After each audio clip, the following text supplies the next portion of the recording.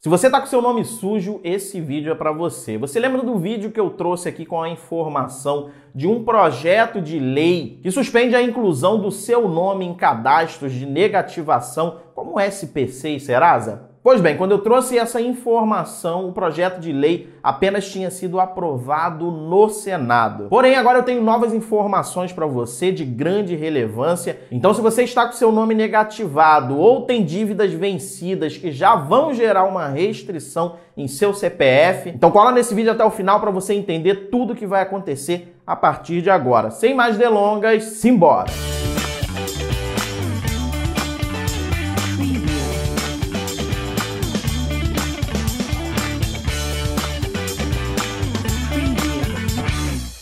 Vídeo que eu falei sobre o assunto, eu tinha trago para vocês a seguinte informação: que o projeto de lei 675 de 2020, que tinha sido aprovado no Senado, agora também foi aprovado na Câmara dos Deputados. Esse projeto de lei tem como objetivo suspender durante três meses, 90 dias, a inserção de novos nomes nos cadastros restritivos tanto no Serasa, no SPC, Boa Vista, enfim, nos cadastros restritivos. Agora, o que está faltando para valer essa lei é a sanção presidencial. E o que, que vai acontecer a partir da sanção presidencial? E é isso que é importante. De acordo com o texto aprovado, a suspensão vai funcionar da seguinte maneira, e você terá que ver se você se enquadra. Essa lei vai valer apenas para consumidores que tiveram o seu nome negativado a partir de 20 de março de 2020. Ou seja, essa medida está completamente relacionada com as consequências econômicas provocadas pela pandemia que assola o nosso país e o mundo. Então, se você teve seu nome negativado a partir de 20 de março,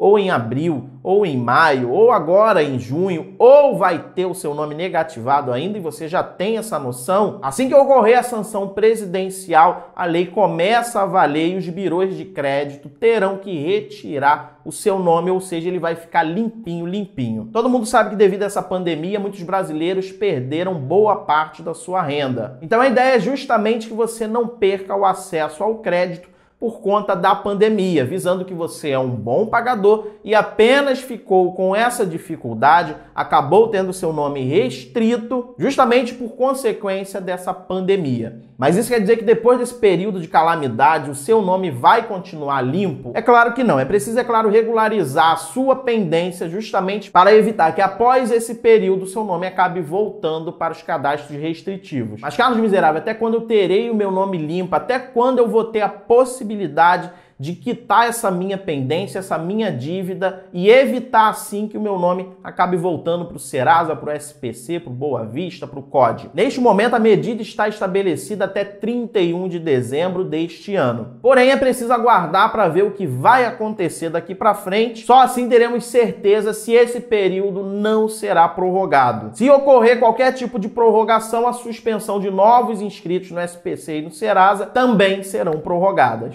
E o que é importante importante frisar aqui: nesse caso, você terá o seu nome limpo. A lei irá impedir que o seu nome seja negativado? Sim. Mas a lei obriga o banco te conceder crédito? Não. E é aí que está o X da questão. Muitas pessoas podem achar que a lei irá obrigar o banco a te conceder linhas de crédito. E por incrível que pareça, em pleno 2020, Pessoas ainda acreditam que o banco é obrigado a conceder linhas de crédito se você tem o seu nome limpo. E na verdade não é assim que funciona, não é bem assim que a banda toca. Infelizmente, ao meu ver, os birôs de crédito, mesmo com a lei, irão tomar algumas medidas irão identificar todos esses consumidores que foram negativados e, por conta da lei, tiveram seu nome retirado dos cadastros negativos. E eu, com a experiência que eu tenho, sabendo que os birôs de crédito não dão mole para ninguém, com certeza irão criar algum mecanismo para avisar aos bancões,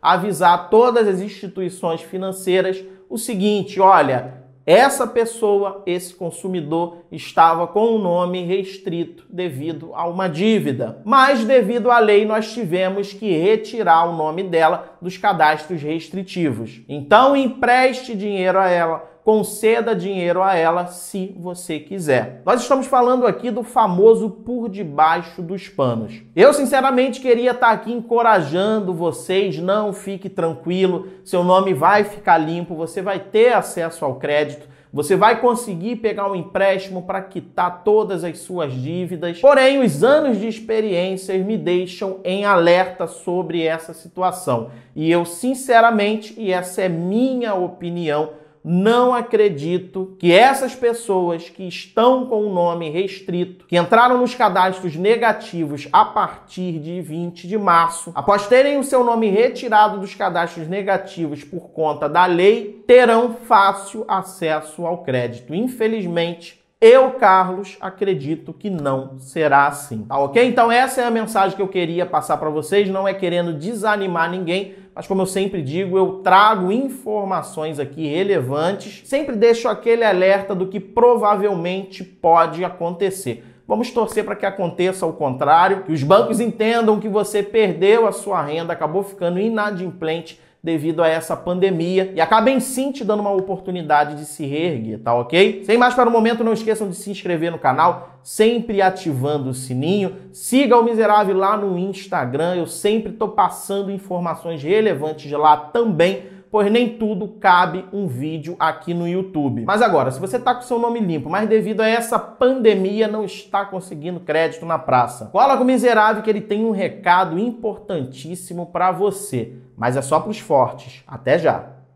Agora, se você está com problemas para conseguir crédito, um mero cartão de crédito, um empréstimo pessoal ou para o seu negócio, deseja ou almeja financiar um veículo, financiar a sua moto, ou até mesmo seu imóvel, para quem tem essa prioridade, eu tenho a solução para você. Eu estou deixando um link aí na descrição, mas tem uma coisa: você só vai clicar nesse link caso você esteja disposto a mudar de vez a sua vida financeira. Se você for do tipo que aguarda um vídeo com uma fórmula milagrosa que vai fazer você ter um score nas alturas, por favor, não clique nesse link, porque você vai perder o seu tempo. Para você, esse vídeo termina aqui. Foi um prazer que você tenha chegado até aqui, ter me escutado até agora, mas tchau e benção. Agora, já para os que não acreditam no conto do vigário nem em fórmulas milagrosas, eu te vejo já já. O link está na descrição.